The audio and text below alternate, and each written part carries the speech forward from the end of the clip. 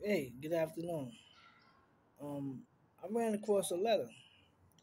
I wrote this letter when I was in jail. It was a letter. It was a campaign letter.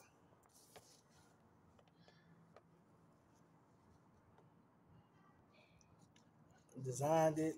It's like four pages. I'm gonna read it to y'all. And y'all tell me if somebody should have helped me and got me home. No exaggeration. I mailed this letter out every day to any and every. Man, I'm just gonna read it to you, and you tell me, man, would you have helped me? It said a wrongfully convicted man, Dr. Alphatar Stewart. Peace and balance. I'm an innocent man. I served the last 28 years of my life inside of a cage for a crime I did not commit. On July 10th, 1997, I was arrested for the shooting death of a man I never met. I was given a co-defendant. I ain't gonna say his name, but y'all know who he is. He's from Harlem. Who made a video statement implicating me in the crime he was initially arrested for. Same as he did to a dude named Todd Moore. You know, Todd was my boy from Harlem. For early murder, murder he was arrested for. Later on, this same dude wrote out a recantation and confession to the crime of murder that he accused me of. The case was severed. My attorney was Alan P. Haver. Never called this dude to stand at my trial to testify. Once I was convicted, the same dude who did the crime, told on me, was released without ever going to trial. I was judged for my first crime where, you know, dude who was dating my mother tried to pimp her, forced her into prostitution. She resisted. He beat into a coma. I came home from school, found myself, you know, cornered. This is a grown man. He took, put out a gun on me. You know, he attempted to shoot me. We fought for his gun. He lost his life in the struggle.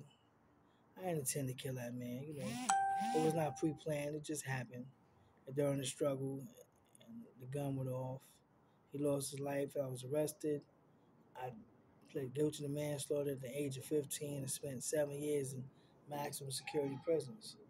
Now, it's another dude. He's dead now, so I can say his name, Huey Phillips. I'm actually happy he's gone because um, he, he was a two, three time felony offender. He came forward after being arrested for crimes and still not clear whether they, he brought my name on first or the police did, stating they heard gunshots. They didn't see, see me flee the building. And they knew me for seven years or more, which is possible because I, I was upstate for seven years in jail and wasn't home for 45 days when the crime took place. Another dude, he was arrested for his third narcotic sale. He got like bakeries and, and grocery stores in the Bronx now. But um, I ain't gonna say his name. But he, he went down for selling crack, and they came and he was sentenced to two to four at the time when the Rockefeller draws were in full effect. And I don't know how, but he claimed he ain't received no deals with his testimony. And um, the prosecutor, when he arrested the first dude for assault, he had written the court.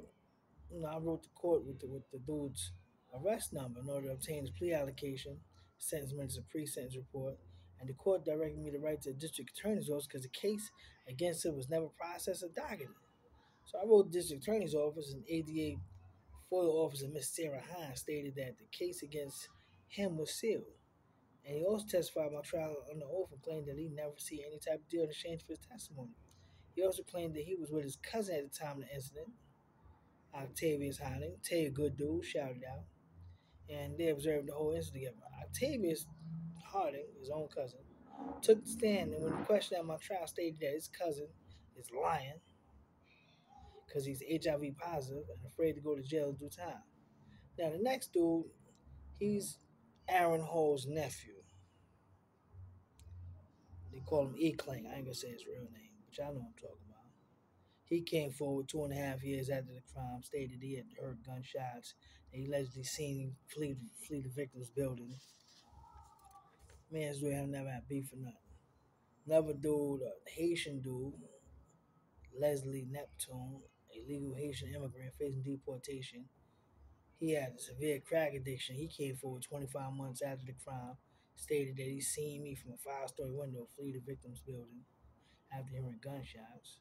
Then you got this David Irons character, a gang member, Bloods, career criminal serving a sentence of 75 years of life for robbing and terrorizing 19 Holocaust victims.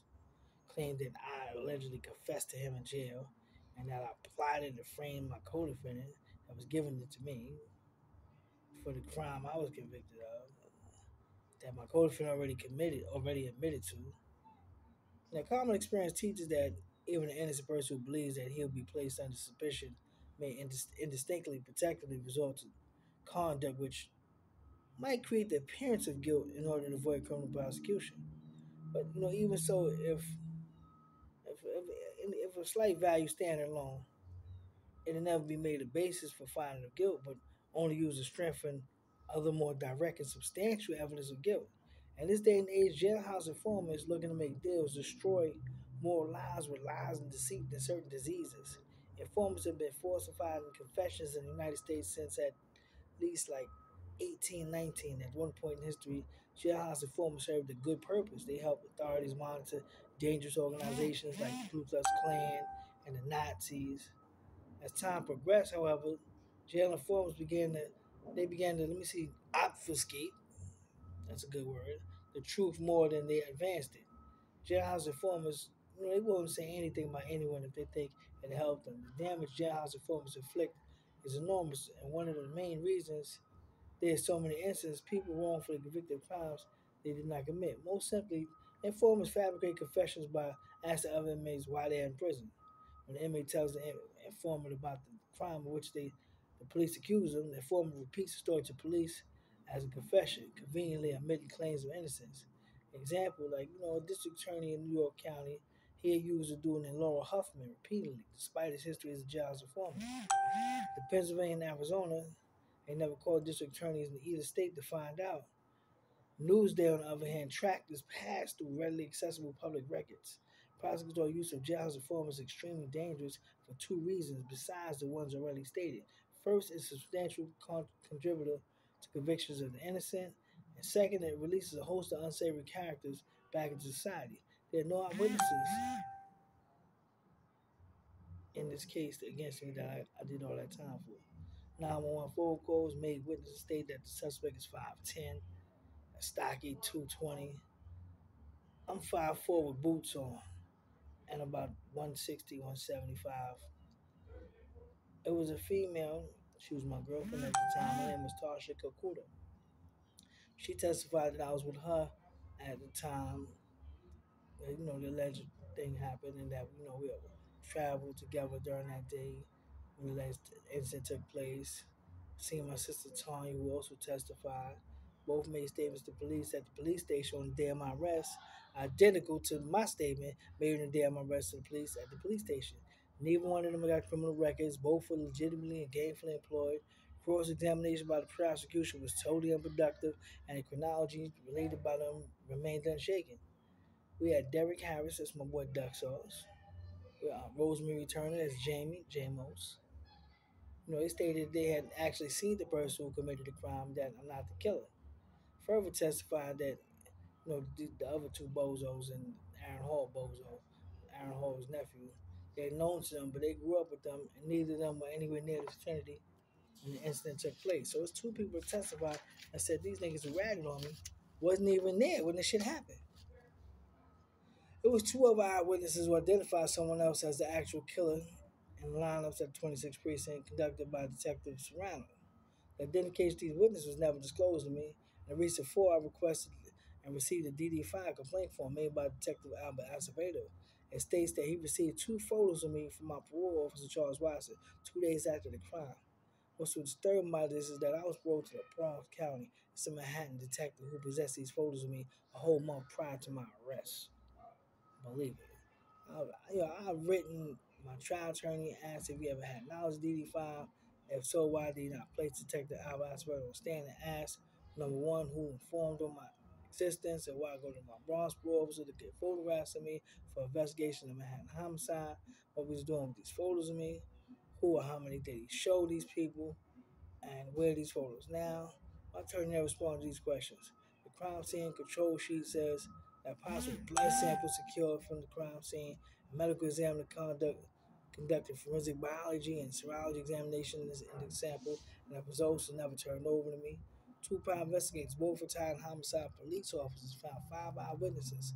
Um, Kerry Ross, L. Robinson, barbershop owner Master John, Jesse Griffith, and Robert Bradley to this crime who stated that, you know, I'm not the killer, I'm Mr. Lee, of, of, this person who died.